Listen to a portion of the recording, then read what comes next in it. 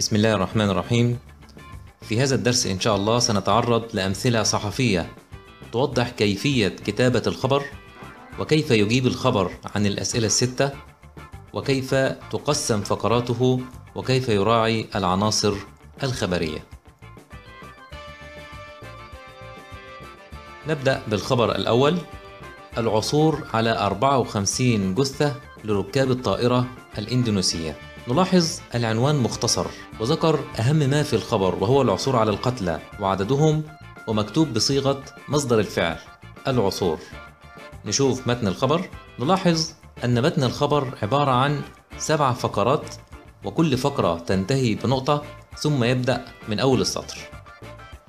والفقرة الأولى هي مقدمة الخبر وتحتوي على أهم ما في الخبر بصورة إجمالية مختصرة. أعلنت السلطات الإندونيسية اليوم العثور على جثث 54 راكبا كانوا على متن الطائرة التي تحطمت قبل يومين في منطقة جبلية نائية شرقي إندونيسيا ونلاحظ أن المقدمة أجابت على أربع أسئلة ماذا حدث؟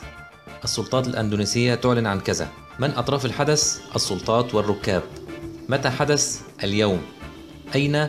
في منطقة جبلية شرق أندونيسيا وبعد فقرة المقدمة بدأ الخبر في ذكر التفاصيل في الفقرة الثانية زي اسم المتحدث وتفاصيل الوفيات.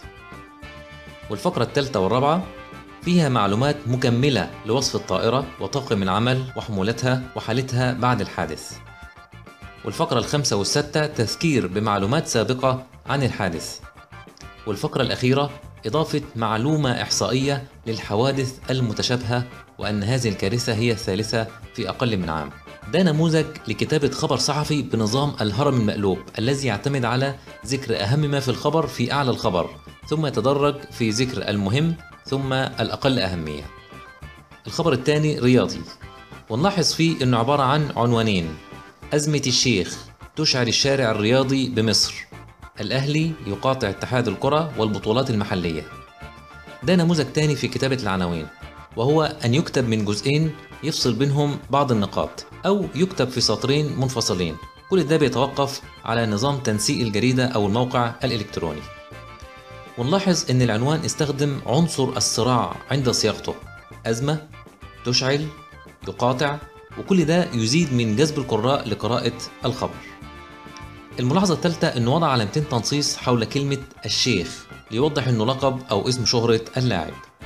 ده بالإضافة أن العنوان مكتوب بصيغة الفعل المضارع نشوف الخبر. نلاحظ أيضا أنه مقسم لفقرات صغيرة وكل فقرة تحمل فكرة واحدة لتسهيل القراءة. أما فقرة المقدمة فتحتوي على مختصر لأهم ما في الخبر. أعلن النادي الفلاني الثلاثاء عن قراره بمقاطعة الاتحاد والمسابقات فيما تعد واحدة من أكبر الأزمات. هذا المحتوى يمثل أهم ما في الخبر.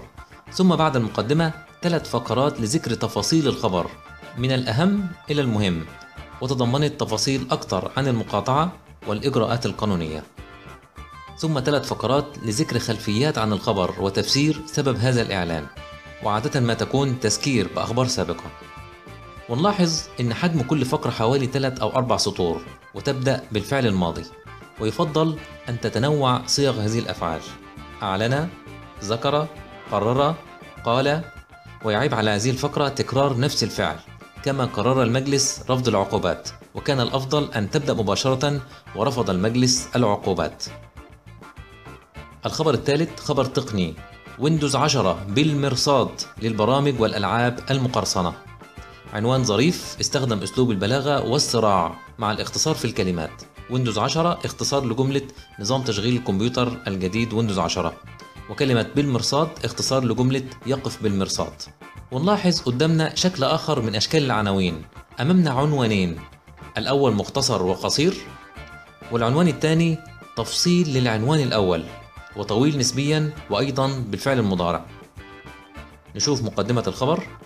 أعلن موقع مختص في أنظمة التشغيل الثلاثاء عن إمكانية رصد ويندوز 10 للبرامج والألعاب المقرصنة المثبتة على الكمبيوتر وإيقافها عن العمل بشكل كامل. مقدمة مختصرة بدأت بالفعل الماضي تناولت أهم ما في الخبر، ثم تبعها فقرات تفصيل الخبر وتعليقات المهتمين وتوضيح بعض المسميات.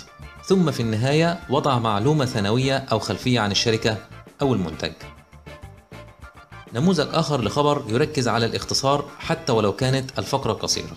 مقتل 19 شخصا في انفجار قنبلة وسط العاصمة التايلاندية بانكوك. أهم ما في الخبر عدد القتلى ثم حدث الانفجار على الترتيب وليس العكس. وكما كل العناوين يستخدم مصدر الفعل أو الفعل المضارع. وفي المقدمة قتل 19 شخصا على الأقل وأصيب أكثر من 120 آخرين في انفجار هائل بقنبلة قرب كذا وسط العاصمة كذا. المقدمة مختصرة وذكرت تفاصيل أخرى لم ترد في العنوان وهو عدد الإصابات ووصف المكان. ويفضل أن يذكر العنوان عدد الإصابات أيضا لأنها معلومة ذات أهمية. فيمكن مثلا أن يكون 19 قتيلا وأكثر من 120 مصابا في انفجار وسط العاصمة التايلاندية. ويمكن أن يكتب أكثر من 139 قتيل ومصاب في انفجار وسط العاصمة التايلاندية. إلا أن بعض المؤسسات الصحفية لا تحبذ جمع الرقمين معا وتفضل فصل رقم القتلى عن المصابين وهذا في الحقيقة هو الأدق. ونلاحظ في بقية الفقرات أنها صغيرة ومختصرة ولم يلجأ الصحفي لدمج فقرات حرصا على وحدة الفكرة في كل فقرة. كما أن أفعال بداية الفقرات تميزت بالثراء والتنوع ويحظى وقال وأضاف وأشارت ولم تعلن وتقول ووقع ورصد إلى غير ذلك. آخر نموذج معانا لخبر قصير السعودية. نقطتين تشخيص تسع إصابات جديدة بفيروس كورونا بالرياض وتسجيل حالة وفاة. العنوان مختصر وذكر أهم ما في الخبر وهو الوفاة والإصابات.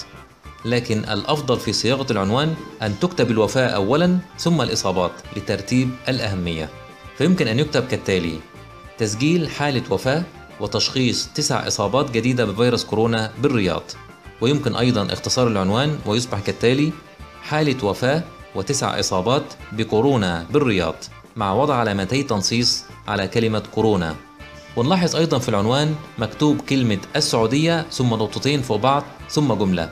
وده يعني أن الكلام المكتوب بعد نقطتين ينسب للاسم المكتوب قبل النقطتين. وهو في هذه الحالة الحكومة السعودية أو متحدث باسم الدولة.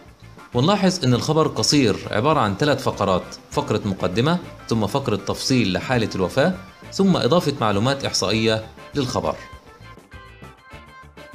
لاحظنا في هذه النماذج من الأخبار أنها تجيب على الأسئلة الستة وتراعي أهم العناصر الخبرية ولها تقسيم شائع داخل مكوناتها.